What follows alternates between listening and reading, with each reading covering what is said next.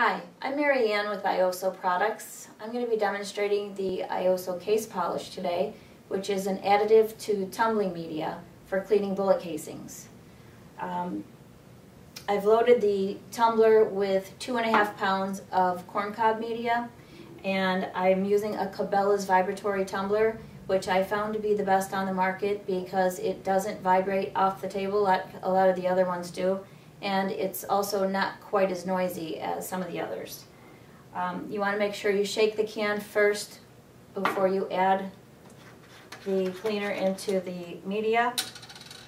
Start your tumbler and since I'm using two and a half pounds of media, you use one, one ounce per pound.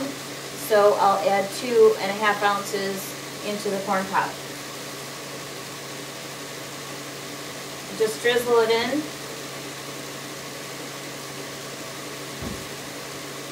It's going to start getting kind of chunky looking, but it'll mix up well once it uh, mixes for a minute or two. And once you put the casings in, it will um, disperse it out a little bit better too.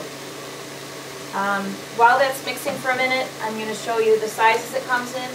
Um, this is an 8 ounce size. It comes in a quart and a gallon. We also have a 5 gallon up to 55 gallon drums because we do sell a lot of commercial reloaders that use it. Um, I've measured out 100 223 bullet casings which are of average uh, powder fouling and residue.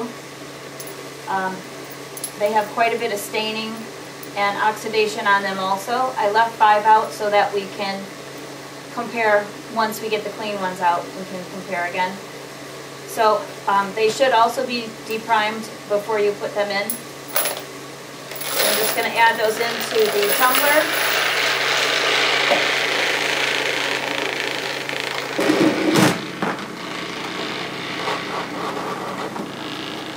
Generally, for this condition casings, it only takes about an hour and a half or so for them to come out clean. So we're going to let this mix for about an hour and a half and we'll be, we'll be back then.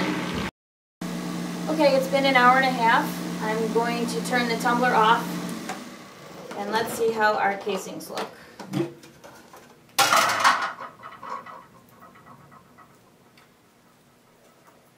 The powder fouling and uh, staining and tarnish has been removed. They've come up to a real high shine and it uh, leaves a protective coating on it also. So it retards the oxidation for quite some time so they'll stay looking nice for longer. Here's a comparison of the dirty to the clean. You can check for the um, Iosso case polish at your local retailer or you can check online at our website, um, iosso.com, or you can call our office and we'd be glad to tell you if there's a retailer in your area that carries it.